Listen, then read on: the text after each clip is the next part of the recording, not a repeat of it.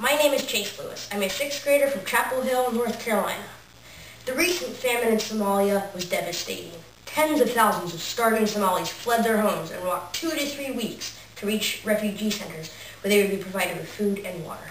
Even though the Somali famine is over, it will not be the last. The long trek across the desert often was too much.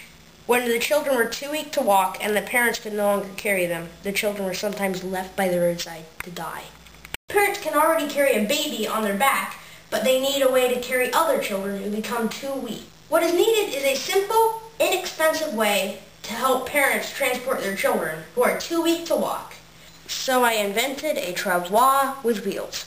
It is lightweight, inexpensive, and easy to assemble. The travois removes a large portion of the load from the bearer's body. My grandmother, who is the height of an average African woman, 5 feet 2 inches, was easily able to carry my 70-pound sister in the travois. The proportion of the weight carried by the bearer is the ratio of the distance from the weight to the wheel divided by the total distance between the bearer and the wheel. That means that if the weight is three quarters of the way from the bearer, then the bearer is carrying only one quarter of the weight. The travois frame has to be strongest at the point of maximum bending moment, which corresponds to the place the weight is applied. This is where it is important to use a strong material like a composite of wood and metal. I built this prototype with materials I could easily buy. In production, other materials should be considered to maximize strength, durability, lightness, and cost-effectiveness. It is also collapsible. It can be easily packed into crates, which would be airdropped onto the most used refugee roads.